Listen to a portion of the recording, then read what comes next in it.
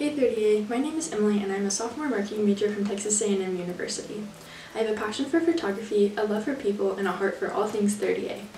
As a Texas gal myself, I haven't had the luxury of living beachside, but I would like to say that 30A is my home away from home.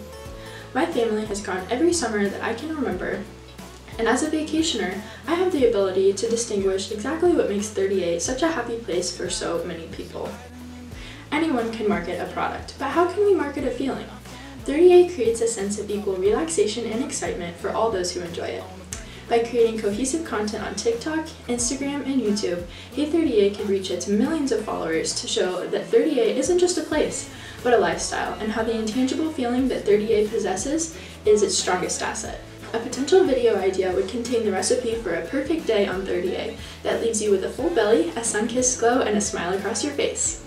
It would follow a 30A team member around to the best breakfast spot, the best place to lay out your towel for a couple of hours, and then where to wander in for a quick bite to eat. After a little bit of a lunch break, it's time to head out for some parasailing, paddleboarding, or spikeball with family and friends.